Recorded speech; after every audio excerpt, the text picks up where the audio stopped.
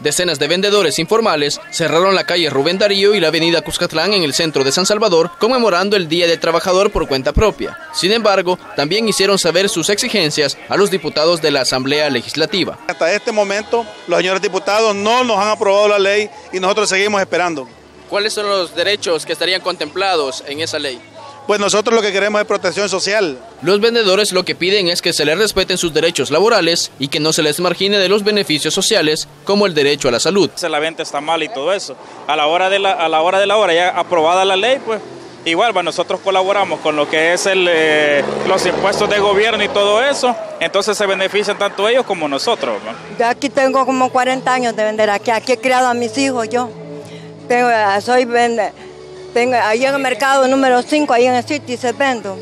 ¿Y nunca se ha visto beneficiada con algún tipo de ayuda? No, nunca. ¿Qué le pediría entonces a las autoridades de la Asamblea Legislativa? Que nos ayudaran económicamente, ya con un préstamo que nos hicieran. Desde el año 2013 se está pidiendo una ley que les otorgue prestaciones, pero según ellos no han recibido respuesta alguna por parte de los diputados. De aprobarse una normativa de este tipo, más de 1.200.000 personas que trabajan informalmente se beneficiarían.